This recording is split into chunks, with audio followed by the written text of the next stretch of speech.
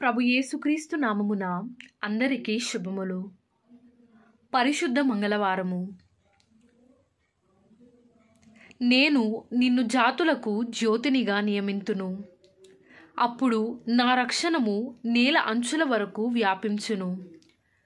ప్రభువు సేవకుని గూర్చిన గీతము.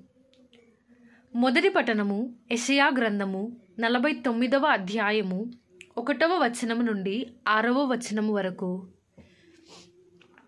ద్వీపములారా నా మాట వినుడు. దూర ప్రాంతపు జాతులారా నా పలుకులు ఆలింపుడు. నేను తల్లి కడుపున పడినప్పటి నుండి ప్రభువు నన్ను పిలిచి నా నామమును జ్ఞాపకము చేసుకొనెను. ఆయన నాకు పదునైన కత్తి వంటి వాక్కును ఒసగెను. తన హస్తముతో నన్ను రక్షించెను. నన్ను వాడి అయిన బాణముగా చేసి వాడుకొనుటకు గాను తన అంబుల పొదిలో దాచెను. ఆయన నాతో ఇజ్రాయేలు నీవు నాకు సేవకుడవు. నీ వలన నాకు కీర్తి కలుగునుగాక అని చెప్పెను. నేను నిరర్థకముగా శ్రమపడి తిని నా బలమునంతటిని వినియోగించినను ఫలితము సాధింపజాలనైతినని నేను అనుకొంటిని. కానీ ప్రభువు తప్పక నా కోపు తీసుకొనును. నా కృషికి గాను నన్ను బహుకరించును. నన్ను మాతృగర్భమున రూపించిన ప్రభువు ఇట్లు సెలవిచ్చెను. యాకోబును తన వద్దకు కొనివచ్చుటకును ఇజ్రాయేలును తన చెంతకు చేర్చుటకును ఆయన నన్ను తన సేవకునిగా నియమించెను. ప్రభువు నాకు కీర్తిని దయచేసెను.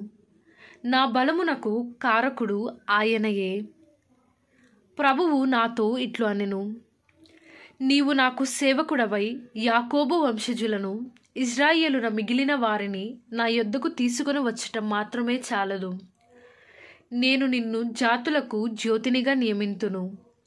అప్పుడు నా రక్షణము నేల అంచుల వరకు వ్యాపించును. ఇది ప్రభువు ఆకు సర్వేశ్వరునికి వందనములు.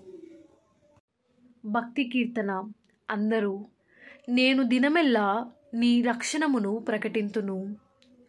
నేను దినమెల్లా నీ రక్షణమును ప్రకటింతును.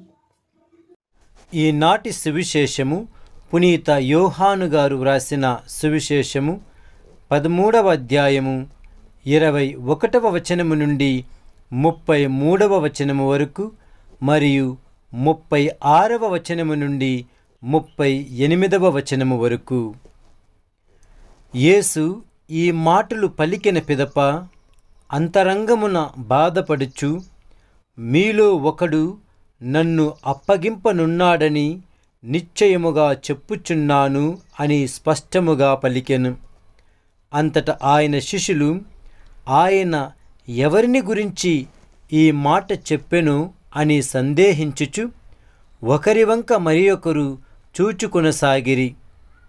శిష్యులతో యేసు ప్రేమించిన ఒకడు ఆయన వక్షస్థలమున ఆనుకొని కూర్చుండియుండెను. యేసు ఎవనిని గురించి ఈ మాట చెప్పెను? అడుగమని సిమోను పేతురు అతనికి సైగ చేసెను.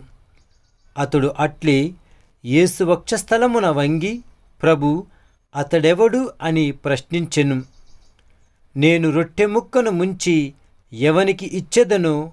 అతడే అని యేసు సమాధానమిచ్చి ఒక రొట్టె ముక్కను ముంచి సిమోను ఇస్కారియేతు కుమారుడగు యూదాకు ఇచ్చెను.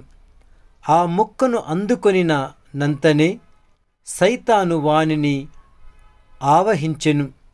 అప్పుడు యేసు వానితో నీవు చేయుచున్నది వెంటనే కానిమ్ము అని పలికెను.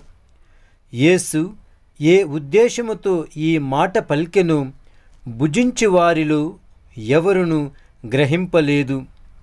యూదా వద్ద డబ్బుల సంచి ఉన్నందున యేసు వానితో పండుగకై తమకు అవసరమైనవి కొనమనియో లేక పేదలకు ఏదేని ఇమ్మనియో చెప్పుచున్నాడని కొందరు తలంచిరి. యూదా ఆ రొట్టె ముక్కను తీసుకొని వెంటనే బయటకు వెళ్ళిపోయెను.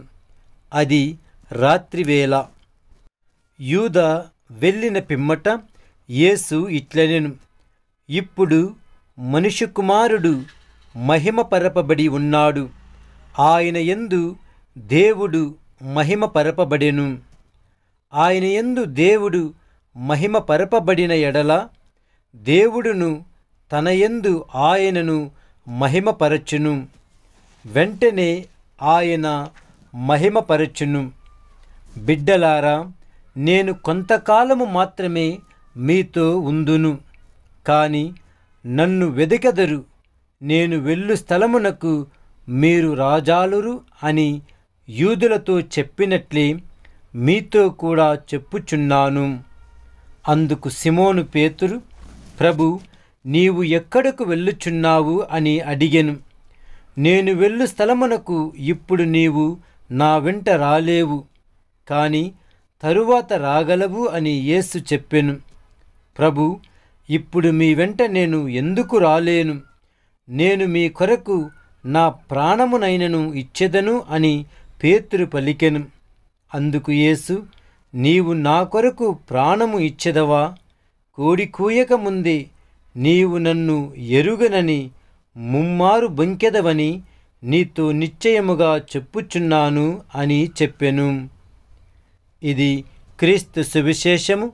క్రీస్తువ మీకు స్థుతి కలుగునుగాక.